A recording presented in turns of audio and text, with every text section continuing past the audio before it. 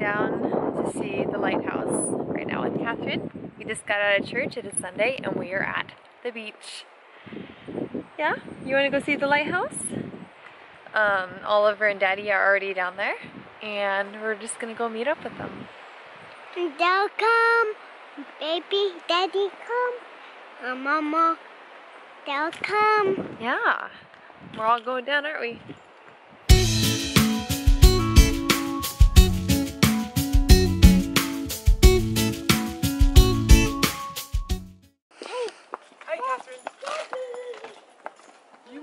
Made it. We did.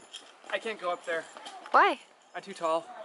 You are? Yeah. How tall? No, I'm just kidding. He can't go up there.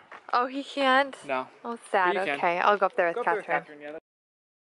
Catherine, what's the matter? They'll come. Did you want to go up the lighthouse and you couldn't? Poor Catherine. Do you want to go up there? no, you can though. I bet you've never been up there.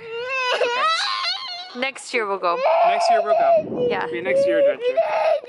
I'm so sorry, Catherine. Life is so sad. So, so sad for the Catherine. So we made it to the octopus tree. Catherine immediately, as we got here, has to go back and go pee. Look at this octopus tree. Magic. So, It is highly debated why this tree was formed the way it is. Some speculate it is due to the dark arts. I presume it is due to the light arts.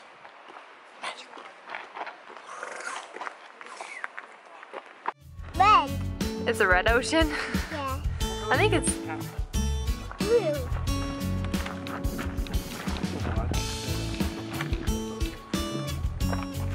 Let's find you don't want to fall, do you? Off the cliff.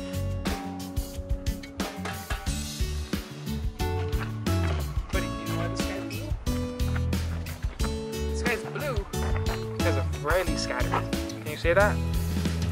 Rayleigh scatter. Rayleigh scatter. Oh, Catherine. About to get ran over by a car.